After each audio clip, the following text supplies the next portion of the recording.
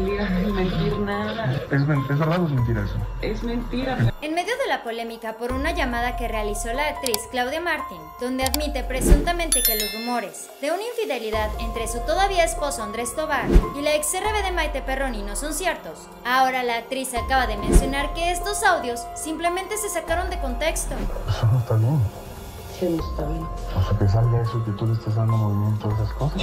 Durante una pequeña entrevista telefónica, la actriz declaró que esta llamada de hecho se hizo de manera privada y que debido a la filtración de estos audios, se le ha dificultado bastante el proceso de divorcio con el productor de Grupo Imagen.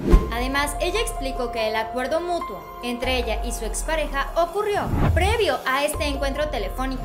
Fue una conversación que se llevó a cabo en un ambiente privado. Se está tergiversando la información. Claudia mencionó que ella lo único que está buscando y que siempre ha buscado es conducirse en su vida de una manera pacífica, tranquila, y que de esta misma manera ella quiere llevar a cabo su divorcio. Asimismo, Claudia mencionó que el trato económico entre Andrés y ella se acordó desde antes que surgiera esta situación.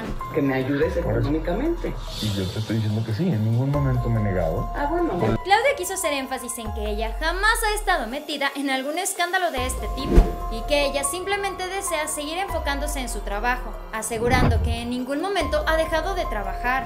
Fue un acuerdo entre ambos que desafortunadamente está manipulando esta, esta información.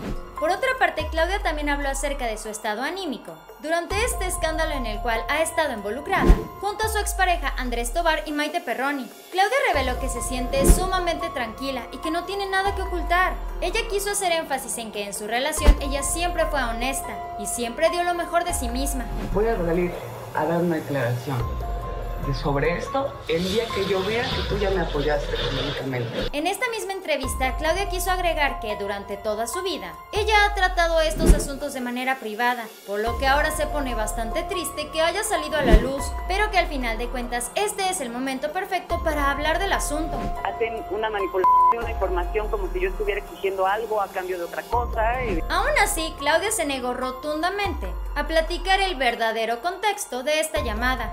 Sin embargo, lo que sí quiso dejar bien en claro es que no le gustó para nada que se haya hecho tan pública. No, no es la conversación entera y yo tampoco tengo por qué dar más información de esa conversación.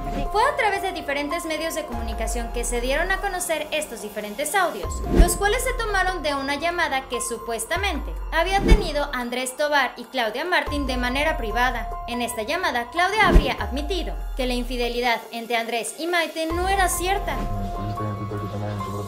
Ah, porque así es la novela. Así está la novela. Sin embargo, en estos audios podemos escuchar que la actriz únicamente saldría a aclarar esta situación si ella recibe algún beneficio económico. Voy a salir a mentir nada. ¿Es, men- ¿Es verdad o es mentira eso? Es mentira, pero... Entonces, Esto fue Famosos de Cerca. Dale like a este video, suscríbete y síguenos en Facebook. Espero que tengas un excelente día. Nos vemos muy pronto. Bye.